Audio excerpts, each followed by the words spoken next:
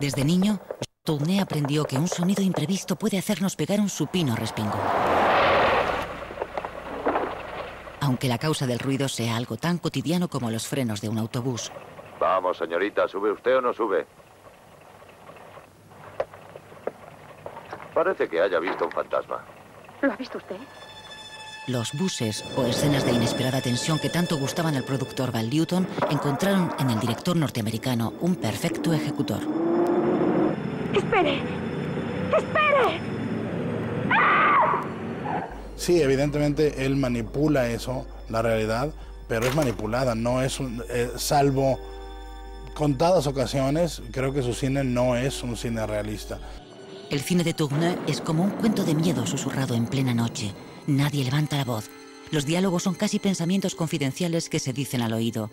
Por eso, el director hacía que los actores desfilaran uno a uno por su despacho para ensayar el diálogo, hasta que conseguía el volumen y entonación adecuados. Como resultado, incluso los momentos más trágicos parecen confesiones musitadas al oído del espectador. Voy a quedarme con la señorita Jessica por si la enfermera se asusta otra vez. Pues no llores más. Eso fue lo que asustó a la señorita Betsy. A mí también me asustaron sus gritos dentro de la torre. Esas sombras que atemorizaban al Tourné niño se convirtieron en una de las características claves de su cine. La oscuridad es el medio ideal en el que el director nos desvela los miedos que atenazan a los personajes de sus películas. Quizás la influencia a nivel visual más, más consistente sea el expresionismo alemán, un poco por eso, ¿no? la forma de utilizar el, el claro oscuro, las sombras, sobre todo en las películas fantásticas de cine negro. Nicolás Musuraka fue quizá el director de fotografía que mejor entendió las intenciones estéticas de Tourné en torno a la luz. Márchate. Considerad el asunto. Ya sabéis que Huit es capaz de llegar muy lejos. Dadme los 40.000 y me callaré. Pero sin engaños. No intentes pagarme con el dinero falso que te haya entregado esa pájara. Esperaba que hicieras esto. El realizador norteamericano prefería fuentes de luz naturales, como lámparas o ventanas, que ayudaran a los actores a interpretar su papel con naturalidad. Cuando el color sustituyó al blanco y negro, el planteamiento de Tourné no varió demasiado. A pesar de que tuviera los elementos de vestuario de atrecho fueran muy vivos de color, el tipo de iluminación que él utilizaba los neutralizaba. Jacques Tourné utilizaba el color pensando en blanco y negro, un aspecto de su cine que se hace evidente en géneros como el western o el peplum.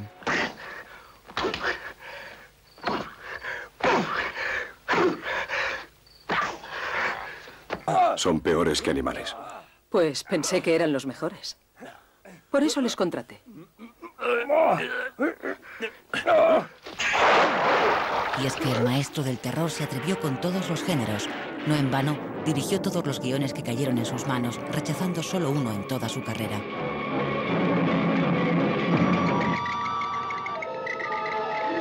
Desde que Tourné abrió la caja de Pandora, las cosas no volvieron a ser lo mismo. Una extraña oscuridad se apoderó del cine norteamericano, una sensación de inseguridad, desorientación e infortunio, como si la tierra pudiera abrirse de pronto bajo tus pies. Me ha leído el pensamiento, señor Holland. Es muy fácil leer el pensamiento de los recién llegados. Todo les parece precioso porque no entienden su significado. Esos peces voladores no saltan porque sí, sino de terror ante los peces grandes que les persiguen para engullirlos. La luminosidad del agua la producen millones y millones de diminutos cadáveres. Es el brillo de la putrefacción. Aquí no existe la belleza, solo muerte y decadencia. Cuando Jacques Tourné llegó a Hollywood de la mano de su padre, realizador de cine mudo, solo había dirigido dos películas en Francia. Tourné llega por la puerta de atrás, por decirlo de alguna manera, y enseguida tiene que aplicarse un poco a la narrativa y a las costumbres y al, y al tipo de producción del cine americano. Entonces, claro, eh, el cine americano era, sigue siendo, pero en ese momento era un cine de géneros. Ser un contador de historias más dentro del sistema establecido por los grandes estudios no le hizo perder ese aire fatalista que tanto contrastaba con el optimista Hollywood. ¿Acaso no lo ve? Ya no queda nada en lo que poder confiar. Las personas se han vuelto insolidarias. Pero si alguna vez el mundo se hace mayor de edad, me ocuparé de que sepa dónde encontrarme. Turner está marcado ah, por, por su impronta europea, por su, su origen europeo y, y su mirada es definitivamente mucho más crítica y mucho más oscura que, que el director americano promedio. Es el Haunford. Tratan de hacerla regresar. ¿Y cómo pueden? ¿Cómo hacen que los entienda? ¿Cómo saben? Ellos saben. Tienen encantamientos que harían recorrer a un hombre medio mundo. Tienen trucos, magia. Uno tiene la impresión de que no va a encontrar respuestas satisfactorias a las preguntas, mientras que el cine norteamericano, hecho por norteamericanos, se caracteriza por encontrar siempre la respuesta satisfactoria. No eres bueno y yo tampoco. Somos tal para cual. Los directores exiliados en Estados Unidos, al estallar la Segunda Guerra Mundial, retomaron el testigo de Tournai para expresar su escasa confianza en el ser humano. La realidad se había convertido para ellos en una auténtica pesadilla de la que no era fácil escapar. The world is full of skeptics. I know. I'm one myself. In the Haskell business, how many of you would believe he fell out of the car? And now, after killing Vera without really meaning to do it, how many of you would believe it wasn't premeditated? La obra de Tournai no fue siempre reconocida. Habrían de pasar varias décadas hasta que su nombre fuera reivindicado como gran maestro del cine. Es un director artesano, como siempre se trata con respeto a Hawks, ¿no? Se trata con respeto a Cukor, ¿no? Pero no se les considera grandes genios, ¿no? Eh, ¿Por qué? Pues porque hacen cine comercial, hacen cine entendible por todos, ¿no? Lo inteligible eh, siempre resulta, en definitiva, algo frívolo, superficial, y eso me, eh, eso me duele particularmente. Ya se sabe. A nadie le gusta que se le diga la verdad de las cosas. Eso es lo malo que tiene el mundo. Es difícil hacer un recuento, pero yo creo que Turner ha influenciado a todos los directores que han tocado el género. De la misma manera que hay una influencia de Fritz Lang en todo, toda la gente que haga cine negro o fantástico. No era humano. Hay algo en esta casa. Algo diabólico.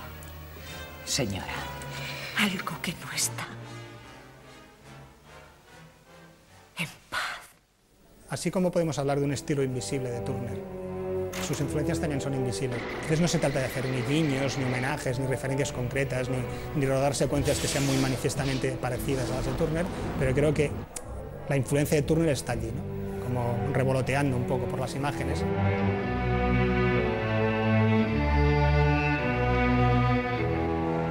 Vamos a matarle.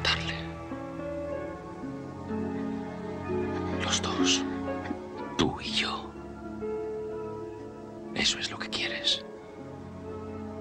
Era irremediable. Solo así se verán cumplidos nuestros deseos. Jeff, hemos estado en un error y la desgracia nos ha perseguido. Merecemos una oportunidad. Nos merecemos el uno al otro.